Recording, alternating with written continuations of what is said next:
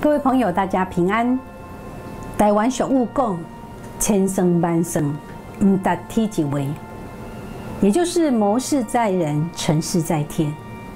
意思是说，世事变化无常，无论人如何的用心策划谋事，还是要天时地利配合才行。这也说明了，在天上确实有一位掌权者。这句话也如同今天的圣经历代之下二十五章第八节的后半段说：“因为上帝能助人得胜，也能使人请败。当人的计划走到尽头，无伯用到无波的时，只有来到那位独一掌权者上帝的面前，呼求仰望他。”十六世纪天主教廷因要建造圣彼得大教堂，而开始贩卖赎罪券，让天主教腐败到最严重的地步。修道士马丁路德因反对贩卖赎罪券，因而提倡以上帝为中心的信仰。于主后一五一七年十月三十一日，在威登堡大学张贴九十五条文。开启了欧洲的宗教改革运动。在宗教改革的过程，马丁路德因为面对教廷及各方面的压力，让他有一段时间愁容满面，几乎要放弃改革的志向。有一天，他的妻子穿了全身黑色的上服出现在他的面前。马丁路德惊讶地问他太太说：“你怎么穿上服？”是谁死了？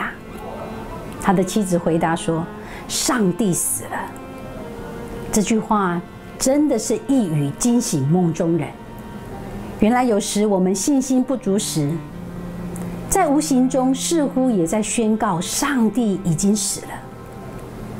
各位，上帝是宇宙万有的掌权主宰，虽然有时情势并非如我们所愿时。这也让我们体会到人的有限，但当我们坚持用顺服的态度及坚定的信心，继续凭着信心来仰望上帝，他必定带领看顾我们。信心仰望可用两个英文字表明：let go 和 let go。let go 表示某个程度的放手与舍下，let go。则是全然的交托给上帝，不再自己背负重担与挂虑。历代志下二十五章第八节后半段说：“因为上帝能助人得胜，也能使人请败。唯有承认一切主权在上帝，如此才能享受从上帝而来的平安与宁静。”亲爱的朋友，在生命的过程中，别忘了。掌管宇宙万有的上帝的权柄，愿我们能有谦卑顺服的心，也也有从上帝来的智慧判断情势，使我们面对困境中依然有从上帝来的平安。